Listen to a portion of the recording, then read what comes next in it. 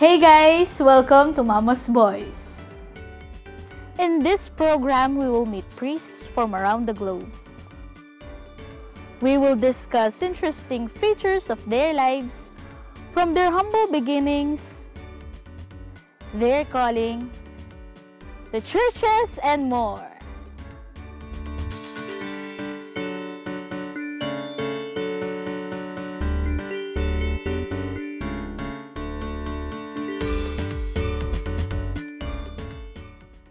In this episode, join us as we get to know more about Father James Martin S.J. of the Society of Jesus via video conference. Hi, Karen. Hi, Father. Um, my name is Karen from Limang Siglo, the host of uh, Mama's Boys. So, uh, kindly tell us, Father, uh, a little something about yourself.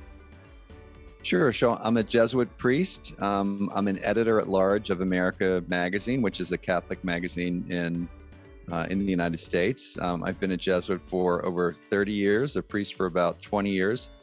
I've written books, uh, and I've written books mainly on um, spirituality and religion.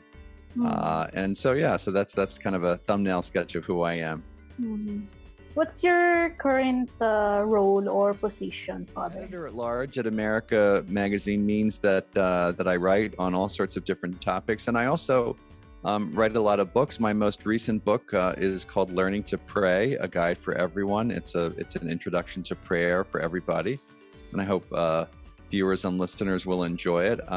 And because I'm a Jesuit, uh, and because I take a vow of poverty, all of the royalties or the proceeds from my book go to the Jesuits and go to the ministry I'm working in, so America Media. So a lot of my work in America Media is in fact writing books. I mean, I do a lot of work with the media, and I do a lot of work on social media as well: Facebook, Instagram, Twitter, you Mhm. name it. Very techy. Yeah, very. I try to be, even at my advanced age. Mhm. Uh, Father, uh, before you were an editor of a magazine and uh, before writing books, uh, what were your previous assignments? Well, um, you know, before I entered the Jesuits, um, I studied business um, at uh, the Wharton School of Business, and I worked for General Electric for a while before I entered the Jesuits, of course. And then during my Jesuit training, in my formation, as we call it, um, in addition to learning about prayer and the Society of Jesus, boy, I worked with uh, people who were homeless. I worked with um, Mother Teresa's sisters in Jamaica working with uh, the sick and the dying. I worked um, uh, with in a, in a small school, a nativity school um, in New York City.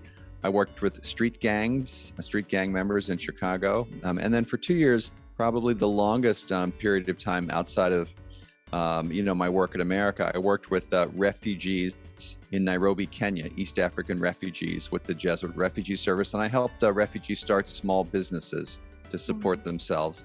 In my theology, I worked with um, inmates um, in a Boston prison. Uh, and then, you know, since then at America, I've been mainly writing, but also, you know, I do spiritual direction and retreats and I help out at parishes and things like that. But but mainly my my work right now is is writing. Uh, but before that, a whole lot of other different pastoral assignments. Mhm. Who were your inspirations, Father, in doing all this, all this stuff? That's a great question. Well, I mean, I know you'll laugh when I say this, but obviously Jesus is is my inspiration and my my boss. Basically, I, I belong to the Society of Jesus. I know the people in the Philippines are very well acquainted with the Jesuits, and so my main model in all things uh, is Jesus. But um, in other ways, um, I've been influenced by people like Thomas Merton, um, the Trappist monk, in terms of his writing. Um, Henry Nouwen, another popular, he was a Dutch Catholic priest.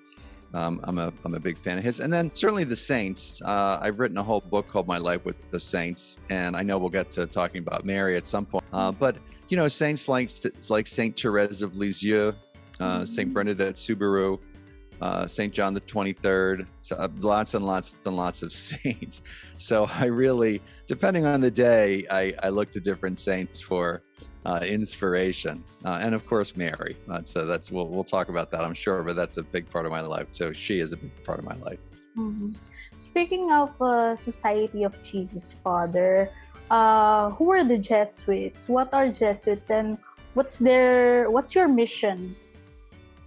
Yeah, what a great question. So the Society of Jesus was uh, founded in um, 1540 by Saint Ignatius Loyola, who was a, a, from the Basque country of Spain. Uh, and you know, most people think because maybe even in the Philippines and and even in the United States that the Jesuits were founded to start schools. So of course, everybody knows about you know the Ateneo de Manila and other Ateneos. Um, and certainly, a lot of the Jesuit universities and colleges in the United States and around the world are very well known. But St. Ignatius started the Jesuits for a much simpler reason, which was to help souls. It's a great idea, helping souls. So, whatever that meant, right? And wherever it meant. Now, early on um, in the 16th century, the church needed you know people to start schools and to educate catholic youth and so that's one things that one of the things that the jesuits did early on and, and kind of started that work but you know, we we also work with, as I said, I worked with refugees. We um, we work in retreat houses. We work, of course, in high schools and middle schools. And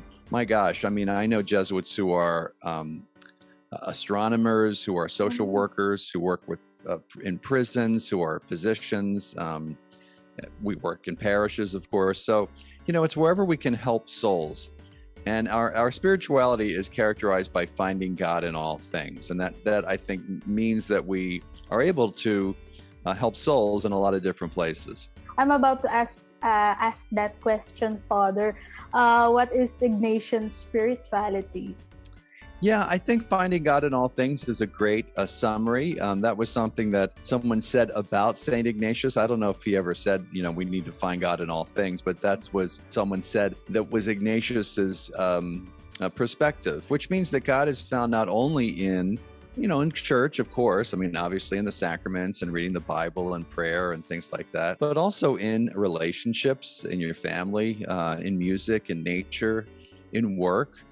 Uh, and so it really is. It's it's recognizing that each moment of our lives, every moment of our lives, is an opportunity to encounter God in a in a special and unique way, and to allow God to encounter you in that moment as well. Father, for those people who doesn't know uh, Saint Ignatius yet, kindly uh, tell something uh, briefly something about him.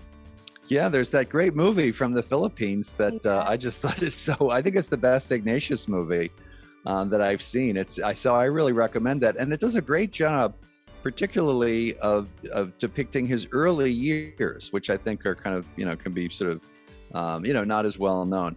Uh, basically, Ignatius was born in, in 1491 in the Basque country of Spain. Um, his young life was devoted to becoming, um, you know, a soldier, right, or a knight. He was a page to a knight, and uh, he wanted to be a soldier. He was very um, intent on impressing people. He talks mm-hmm. about that in his bi- autobiography. He, he liked his hair. That was one of the things that he, he liked to take care of. So he was kind of vain. And, you know, he's a young guy, and that's okay. And, um, you know, like a lot of other uh, young guys and young women, you know, who, you know, they, they want to sort of impress people. But he realized that um, you know that that that wasn't the right go. But what what caused him to realize that was, was in a battle in Pamplona, Spain, in 1521, and his leg was shattered by a cannonball, and uh, that meant that he had to sort of recuperate after the operation. And the only thing he was able to read were a, a book on the life of the saints, the lives of the saints, and a life of Christ, which he sort of took up grudgingly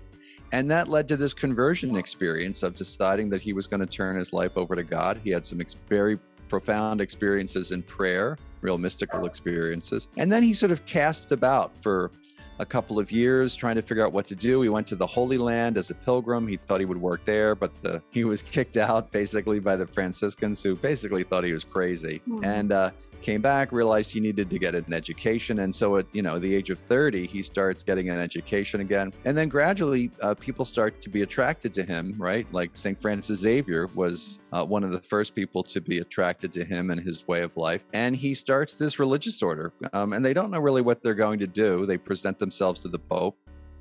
Uh, they get their religious order confirmed. And then, you know, pretty shortly afterwards, they start to do the kind of work that, you know, Jesuits are most known for, I would say, uh, which is education. Mm-hmm. He dies in, I think, oh my gosh, um, 1551. I should know this off the top of my head. Maybe that's wrong. But, um, uh, and, you know, and he's canonized. Um, uh, as a saint, and so I think people people basically know Ignatius through the works of the Society of Jesus, the schools, but also through his spirituality.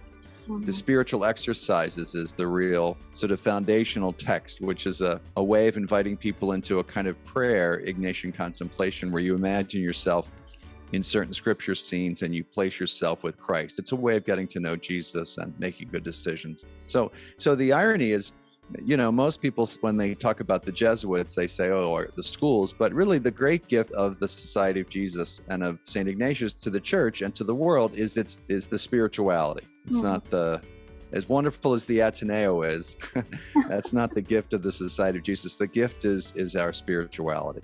Tune in for the next episode of Mama's Boys featuring Father James Martin SJ. There you have it, guys. Thank you for joining us in this episode of Mama's Boys. Hope to see you in our future episode. This has been your host, Karen Dane. Jamatarai